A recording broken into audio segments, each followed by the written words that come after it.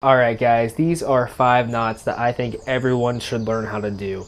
They come in handy. I use them just about every single time I go camping for my tarp shelter, for tying out tent stakes, or just doing crafts around the campsite. Okay, the first knot I'm going to teach is the bowline knot. It's a fixed loop knot.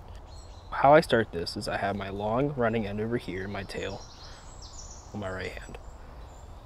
Wrap it around my left hand to make a loop. I fold the loop back over the running end, pull the running end through to make another loop, like so. I have my tail, feed it through, hold taut, and then cinch everything down, and it should look like this. One of the uses of a bowline knot is to secure a ridge line. So I can take it, wrap it around my tree, and I can make a loop. I can grab a stick or extra tent stake, put it in the loop and cinch it down.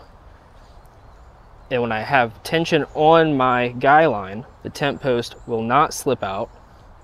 And then when I'm ready to tear down camp, I can just pull this and release. Okay, so the next knot we're gonna talk about is the trucker's hitch. So I like to grab the rope with my left hand underneath and twist my wrist to make a loop. You'll take your loop and fold it over top of the loose end cinch it down to make a new loop. Take your loose end and feed it through that loop. And what I like to do is I like to do that a second time, okay? And then when you pull tension on this, the friction from the second pass of the loop prevents it from slipping. Now all you have to do is tie it off in a numerous ways. I like to just do a quick release knot the next knot is called a square knot. It's kind of like the knot you use to tie your shoes. You put one end over the other and you do the reverse for the second pass. The next knot we're going to be using is called the prusik knot. You're going to take a little piece of rope and tie the ends together, like so.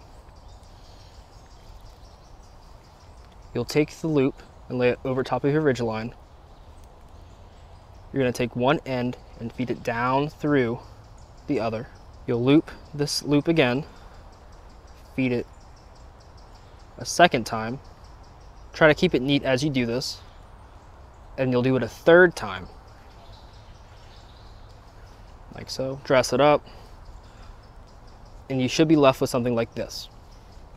Now the cool thing with this rope is when it doesn't have tension on it, it can free slide around the ridge line. Great for setting up your tarp how you want it. It's good for boiling water over a fire. When it's boiling, you can just move it away. You could use it as a loop for hanging things. And then when you have tension, it will bite into the rope and it won't slide at all. But then when you take the tension off, it'll free slide. This is the Marlin spike hitch. And I start it the same way as I start my bowline knot. You have the rope laying in the palm of your hand like so. Make a loop around your hand.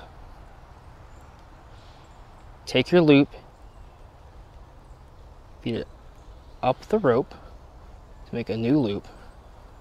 Take a stake or a stick or what have you, cinch it down, and then you can put the stake in the ground and you can use it to secure your tarp. I hope these come in handy in your next adventure. Go out, have fun, and be safe, and I'll see you next time.